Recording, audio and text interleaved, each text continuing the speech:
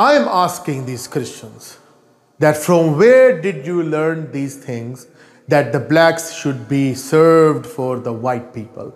From where? Is it what the Genesis chapter 920 had done to your heads? Something comes up, like something you get the idea.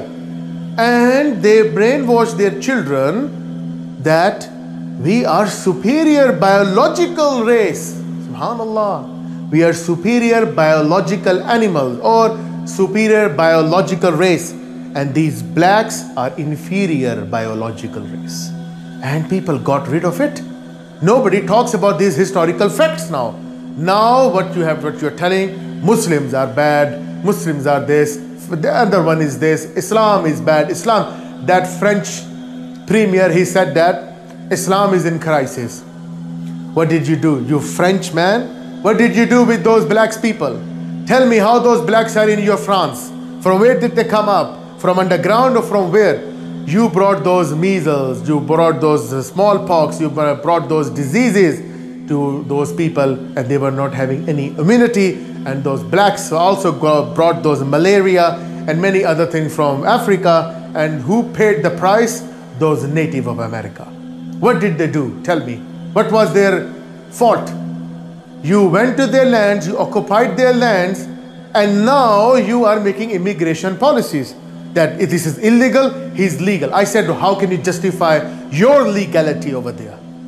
How do you justify your land of domicile there? And how can you attack those innocent people who are crossing there? You did the same thing 100 years or 200, 300 years back.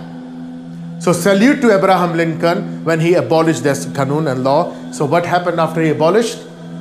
Those people who were using slaves, they were having businesses through them, they were minting and cashing money through them, stashing money through them. Now they were in trouble. So they got a civil war against Abraham Lincoln's private army.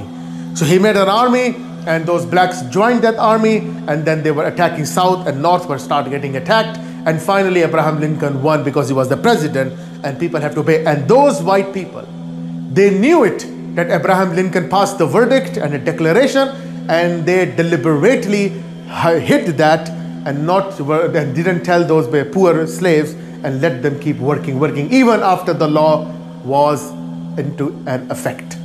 This is how good you were, and holding those Holy Bible in the hand and claiming all those Holy Spirit. This all phenomena or phenomenon of Holy Spirit, everyone was claiming and killing those black people. I said to you, all of them, this American, especially the American and European country, come to Islam. Allah says it is time now to come to Islam. Allah says that nobody is superior. Everyone was created from dust and Adam was created from dust who is our father and nobody is superior to anyone. How long, how matter, how long you gonna be with them or try to assimilate with white men, they will never, never accept you because this is something inculcated in their brains, in their hearts, that they are superior biological race. So this sickness will never go away. Islam produces not even the system of the verdict, sorry, not even the verdict or statement. Islam produced a system. Five times a day, all the nations of the earth, be joined together, feet to feet, shoulder to shoulder. Prophet says, don't let devil comes between two devotees. And we are praying like this five times. In the Hajj, the, our this uh, pilgrimage in a year, holy journey, all are in a white cloth and even in Umrah, we do it, perform other ritual. White said, no king, nobody superior, king, poor, peasant, peasant, or whatsoever you call them, all are in one row, in one saf. This is Islam. Not talking, practice. The Beatitudes of Jesus and the sermons, the sermons on Mount, all those were in the books. Islam implemented it. This is what Islamic deen, the way of life. I call all of you people, disbelievers, to come to the fold of Islam. And inshallah women especially. And I'm going to tell discuss how the women are suffering in in the western world. They are being treated like just like a tissue paper. Sorry to say but this is reality. Women are being exploited the most in the western. And that is why when women started understanding the first thing the woman does he proclaims the shahada of prophet muhammad peace be upon him because this media has been doing all these lies over Islam by yellow journalism and then sugarcoating it.